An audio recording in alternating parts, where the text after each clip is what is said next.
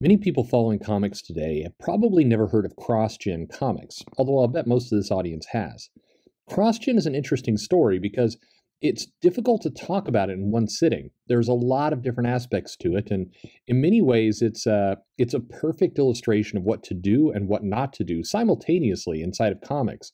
And the stories surrounding it and the people involved are, you know, relatively legendary in trying to do the right things, but maybe having the wrong people and maybe running it the wrong way and having a little bit of bad luck and a lot.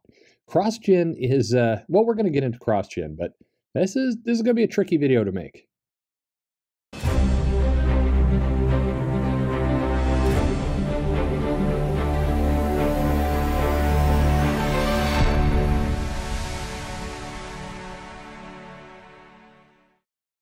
Hey everybody, this is Perch. Uh, CrossGen is such an interesting topic because people uh, often like to tell you the real story of CrossGen. I think I've heard like five or six real stories of CrossGen from various places, all that have a few similarities and then a lot of differences in the back end.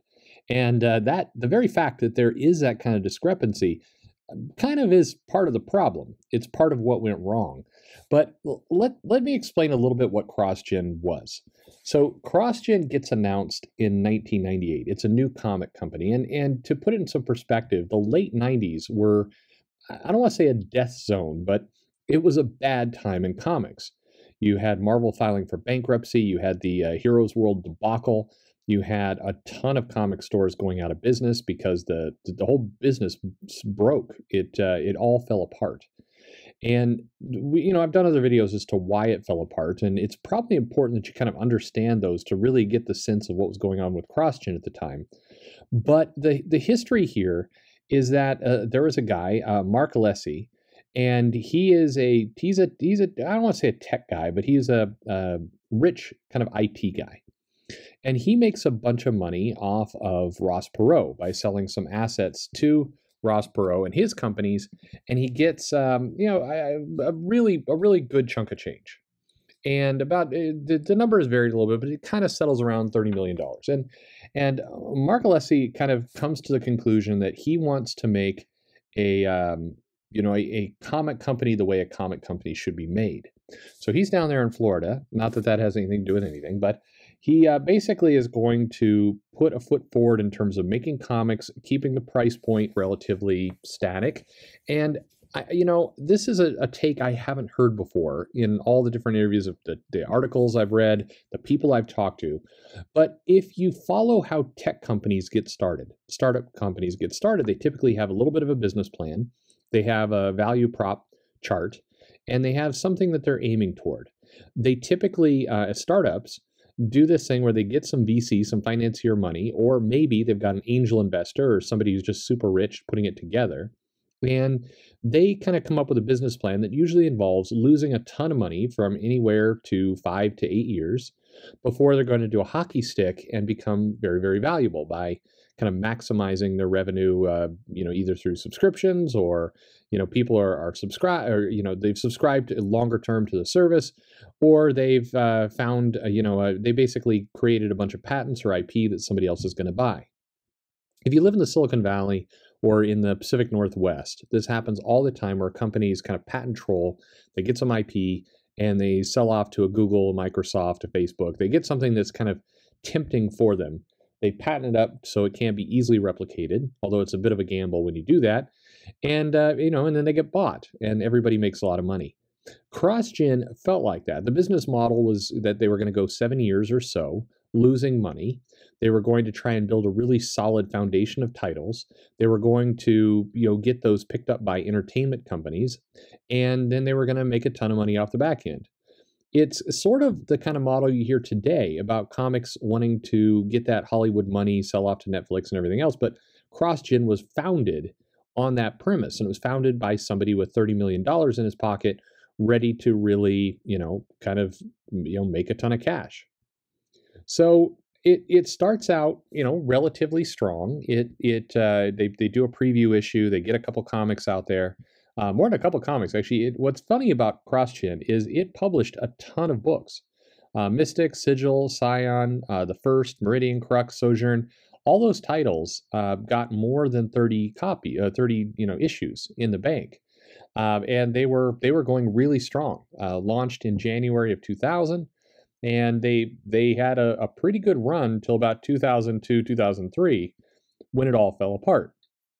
Now, before we get to why it fell apart, um, the other thing that they did, which was pretty progressive and interesting at the time, is they they put people on salary. So they offered creators, you know, health insurance and dental plans, and they they put people actually on salary. When you have you know, $30 million, you got a big bankroll, it makes sense to do that. You bring people in a little bit closer, you have a little bit more control over things, and you have people who are employees, not freelancers. And there's a handful of people who were pretty excited by this. Um, you had, you know, Gina Villa, who was head of creative, um, and then you had uh, Ron Marz, Barbara Kesel, Mark Waid. Um, you had a ton of creative talent: Steve McNiven, Bart Sears, Jim Cheung, Brandon Peterson, um, you you had uh, Pearson, what is it, uh, Peterson? Um, you had a, a, lot of pretty top talent on these books, and uh, and uh, early in their careers, which was again, if you're thinking like a tech company, this is what you want to do. You want to kind of have some people on staff. You want to pay them well. You want to have them, you know, have health insurance. You want to have this kind of model and you're going to create a very tight knit closed group. You're going to have you're what you're going to be worried about is that you put some effort and investment into somebody, a talent, a writer, an artist, whatever, and they're going to go off and they're going to work for a different bidder. That's that's uh, you know tech companies uh, basically not just paid salary but had good benefits, had a a giant kitchen with food. It's funny because people bring up uh, the food. So one of the things that that Mark Alessi did in the office there in Florida was they had a giant uh, stocked, you know, kitchen with lunches and food, which is, again, it's commonplace in tech, but it's not commonplace in comics. And the idea there is that you're going to show kind of employees loyalty and you're going to expect a ton of loyalty in return. Well, you know, a number of things kind of happened that went, uh, that, that definitely went awry. So, uh, first off, uh, you know, and this is one of those pieces that kind of comes up again later, but Mark Alessi's wife uh, dies. Uh, she she passes on pretty early in the the company's history, and that that's you know I, put it this way, it's, it's distracting. Of course, it's distracting. Now he's got to take care of his child, and it was a um, you know it was a devastating event for him. It would probably be uh, it, it, probably took a lot of, of of his energy and his his um, enthusiasm for the whole business away. And on top of that, um, members of his own staff were uh, not the nicest to his wife. Let's say there there are a number of reports of some of the writers uh, who would kind of be rude to her or make a pass at her, just just do do kind of gross, slimy things to his wife. And of course, his wife dies kind of midstream, and it uh, it it it was it was bad. Um, Alessi was also what I would call a very typical uh, startup tech kind of personality. Um, he was tough. Um, some, so depending on your point of view, he was either kind of maniacal in how he was nice one day and then crazy angry the next day, or he was just a raging asshole, depending on who you're talking to. Um, he was notoriously kind of hard or brutal, which, uh, depending on, again, your point of view. And the problem is, it's hard to really drill down whether he was uh, truly, like, if you, if you compared him to your average tech startup boss, probably it looks very, very similar. But for comics and the comic industry, in particular, a lot of freelancers who are, you know, I, I think are enamored and like the idea of being on salary, really haven't had much experience with that and typically write their own rules. It was a, a massive personality conflict. It's it's the if you're uh, if you're in tech and you're doing some of these other pieces and then suddenly you come into comics, it uh, you know it, it it it's just it could be a culture clash and and it absolutely absolutely was. Um, but uh, you know, as he's getting into it, and as he's experiencing what it's like to run a comic company and try and put people on salary who are not used to being on salary, and are very temperamental, um, it is a lot of people crazy acted out. One of the, the legendary stories that, that I think has recently kind of come out and swirled around over the last two years is Mark Waid who was uh, you know employed there at the time, going nuts and like punching holes in walls and, and having kind of you know regularly scheduled meltdowns uh, which, you know, again, depending on your point of view, was just kind of quirky comic personality stuff, or was, you know, just insane sociopathic, you know, bad behavior. Um, it, it is, it, uh, it's a true statement, is, just kind of an aside. As I've gotten to know a lot of people in comics, as I've gone to a lot of cons over the years, um, the comic creators act out in pretty big, pretty bold ways. Not all of them, by, by no stretch of imagination, all of them. But there is this kind of tolerating behavior where even you know normal, well put together comic creators will watch their peers, others, go on crazy, boisterous, you know, drunken rants. And if that person has any kind of clout or standing inside the company, um, nobody, everybody's afraid to say anything. And so, I mean, like you know, you had you had Mark Waid, you had Ron Marz in CrossGen, and both had you know tons of stories about kind of some pretty pretty outrageous behavior. I mean, it it is uh, you know it, it, was kind of a there's a lot of stuff there that you just do not uh, you, you wouldn't see in another company, or somebody would just get punched in in the face over. I mean that you know it, it just it, it is uh, you had a lot of these kinds of things. Uh, Ron Marz was one of the people who had um, apparently made a lot of really crass comments uh, to his wife, um, and and then of course when his wife died about a year later, uh, that just made it all much much worse. Of course, so um, about the time that Alessi's wife dies. Um, his money, you know, he didn't take the 30 million and just, you know, have it in cash. He had it in stock and the stock was in Perot Systems. And there was an energy manipulation scheme, and I think the tank, the stock basically went down about 90% of its value. I mean, just some out- outrageous amount of money. And so suddenly that $30 million you had as security money and the, you know, the plan of, you know, go seven years losing money before you have that hockey stick up, um, it, it vanished. That, that whole about of money just, just evaporated. So now they start missing checks. Uh, they start having some financial difficulties. Again, if you're in a tech startup, you may have these bumps. You uh, there's you know many companies, friends I know, they've got companies that are from angel investors. angel investors have a bad you know month on the market, and it's like, hey, we need to be late on your salary for two months. This is this is again.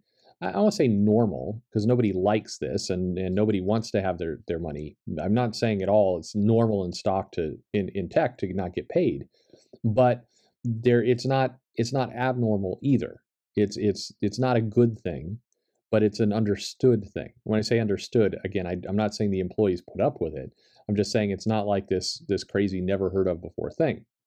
But perhaps because it was the 90s and coming out of all the turmoil and the chaos, um, or perhaps it was just you know that that these were people in the comic industry who were used to kind of freelance comics and and we're not used to salary and then we're not used to kind of riding the stock wave with that salary uh, they revolted. And then there was a lot of hurt feelings and, and angriness uh, all over the place. And people started throwing stuff left and right. Um, alessi definitely has a, a ton of bitter feelings about the people he hired um, the books all kind of got suddenly canceled midstream, uh, sometimes in the middle of storylines, and then Disney buys them for a million dollars uh, back in 2004. And at, at first, it looked like that was going to be a lifeline, but then Disney had no idea what to do with it. Remember, this is several years before they bought Marvel. And Disney, at times, has done what they call, what I'll call uh, speculative purchases with the intent to understand how another purchase is going to get made. Now, I've never said this any, or I've never heard this anywhere. However, looking at Blue Sky, uh, which is Disney's investment firm, and some of how Disney's done investments in the past, they at times will buy on the cheap a company for very little money and then use that as a way to kind of understand uh, the IP and the licensing and kind of understand the mechanism. And then they'll spend, if it goes well, more money for the company they really want and kind of bury their initial acquisition. Now, I'm not saying that was their their plan for CrossGen necessarily, but that is how it played out. Uh, Joe Quesada has come back out in, you know in, in, in, recent times and kind of talked about how it will get revived. They did a, a very short-lived revival in like 2010 or 11 that didn't go anywhere. Unfortunately, the titles uh, the time had passed. Uh, there were the the other thing that kind of hit it that was uh, unfortunate is that there were a bunch of movie deals swirling, and I think with the money running out and kind of the creators starting to revolt and Alessi, you know, kind of losing his mind, uh, good and bad, over some of the behavior that was going on with some of these creators. And and I, I want to make it clear, I'm not saying, oh, creators bad, Alessi good. Uh, Alessi's uh, personality was was not, uh, you know, is, is not a healthy one. I mean, he he did things that uh, many many sources said were just kind of you know crazy behavior to people and a lot of people in the comments undoubtedly will have more. So i'm just i'm just kind of hitting the surface. I want to wrap this up actually pretty soon. We'll do another video on some of the other parts to this but it was um it it, just it it was like dominoes falling and i think you you took two worlds that shouldn't have mixed and tried to mix them and of course the personalities did not fit anything else. Um, it definitely exposed a lot of ugliness in it. Um, i think you know the, uh, the, the kind of the story that a lot of people have heard is um, when uh, when when the company finally you know basically tanked or when it was when it was over um, after announcing the bankruptcy uh, an employee that was fired uh, mark waid sends a black wreath to uh, alessi saying wouldn't your dead wife be proud of you now? And again keeping in mind that his wife dying of a heart attack very suddenly happened at a very kind of pivotal moment, happened really right before the stock tanked and everything went wrong. Uh, but it was already, he was already having a very hard time with some of the creators, some of the outbursts, and, and everything else that was going on. Um, again, whether you, you like Alessi or, or not, uh, that was a, a pretty low class moment in comics. And but it was indicative of kind of the personality type of some creators who viewed this stuff as, you know, you know, I, I would just just in a very crass kind of way. It's why um, it's why the industry, I think, is reacting so uh, aggressively against uh, you know the people who are calling it out, whether they be from on the uh, Warren Ellis side or whether it be the the Comicsgate side, or there's a bunch of different groups that are calling out comics, and there's this kind of very angry immediate backlash against it. And I think part of it is that um, you know a lot of the creators recognize this you know kind of this behavior, and if they even smell a whiff of it that's similar to things they've done in the past, they they get very angry, very defensive. Uh, the usual suspects, uh, some of these names. I mean, the reality is, and and um, I mean, again, I, I, there are going to be people who agree, disagree with me. It's it's fine. I just think that for some people, um, maybe you you're not able to control yourself. Maybe you you know you have a personality type that's that's slightly toxic or manic or whatever it happens to be, and it's a shame. It's bad. You know you got to know your limits and everything else. Um, but those personality types uh, shouldn't be the ones who are kind of calling to the carpet other people in the industry for good or bad behavior. You know, it's it's it'd be like uh, if you get somebody who's a you know an arsonist, somebody who's you know, and you put them in charge of the fire department. Um, it's like on one hand you could say, well, this person really understands fire. On the other hand, you could say, you know, that that's that's insane, and you, you put that person in jail. Uh, but anyway, I don't know. It's it CrossGen is such an interesting. Like I said, it's it's a hard topic to go through because in many ways, I think they set a structure for a company that was a good idea. They did the right things, and then um, there, but they did a lot of the right things with uh, some of the wrong people and with the wrong expectations. And it was a case where you had one person who wanted to run a business one way. You had a bunch of employees who kind of wanted to, uh, you know, were not used to working in a business that way, didn't want to work in a business that way. You had that coming together in a pretty, pretty kind of nasty combo. And then you had a bad, a bad luck, you know, the unfortunate passing of his wife, the stock tanking, the Hollywood uh, stuff just kind of spiraling around for years without any real pickup. So they never got their their big moment. And um, you know, and then Disney buying them on the cheap for a million dollars. I mean, think about it. I, I mean, one million dollars to buy this company and all of its properties after everything that was set up is pretty nuts. Uh, I mean, I, I, know there's a bunch of people listening to this right now who who could have bought CrossGen. Um, I mean, that's that's crazy. But I'll do another video to go more into the titles, more into the other things. It's it is one of those stories. It's like a you can spend an hour on it, and some people have. There's a lot of videos. There's a lot of other people who've, who've done their comments on it. I want to kind of take it from the perspective of of kind of company cultures and when they come together wrong. And it is, I, I think you know, I, I having having heard the Mark Waid story many many times before, the Ron Marz story, others. Um, it, you know, that's one of the things I wanted to actually talk to Ron Marz about uh, it is it is a case where you, you know, you want to hear the other side. I'd like to hear the other side to this because it certainly seems like some pretty nasty behavior. Um, you know, what were people thinking? That would be a good thing to do. But anyway, CrossGen had some great stuff. Definitely a lot of fan love. It did engender a lot of uh, deep, deep love, I think, for their properties. And it's a shame that it, it went the way it went. Uh, I, I think, you know, those properties be hard to revive now, but, you know, I wish they would. Uh, it is, it is it, a lot of good ideas there and a lot of the, the, you know, some bad luck, you know, wrong people, kind of wrong approach. Uh, the industry wasn't ready for it yet. Unfortunately, I was, I was, thinking about this before I started recording. It's like if, if CrossGen had just come around 15 years later, you know, would it work? And the answer is probably no. Unfortunately, a lot of the psychologies, a lot of the behaviors uh, are the same today as they were then. Uh, I think that, you know, it's, it's, eh, there's some lessons in there about how to run a company and also kind of the creators involved within it. Um, and we're going to get to those in some future videos. But anyway, I, I, wanted to just touch on the surface, give you a little bit of a brain dump on CrossGen. I know some of you have been asking for it. So there you go. Uh, that's kind of the highlight of what's going on. Again, lots of people in the comments who probably don't, uh, you know, are not going to last this long in the video are going to go on and on about, uh, you forgot about this, this, and this. Yes, absolutely. And, and there's no way you could go into everything in this company's history and all the ins and outs in 20 minutes.